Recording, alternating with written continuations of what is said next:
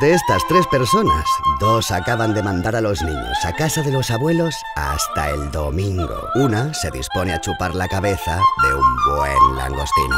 A ver si adivinas quién va a saborear el langostino.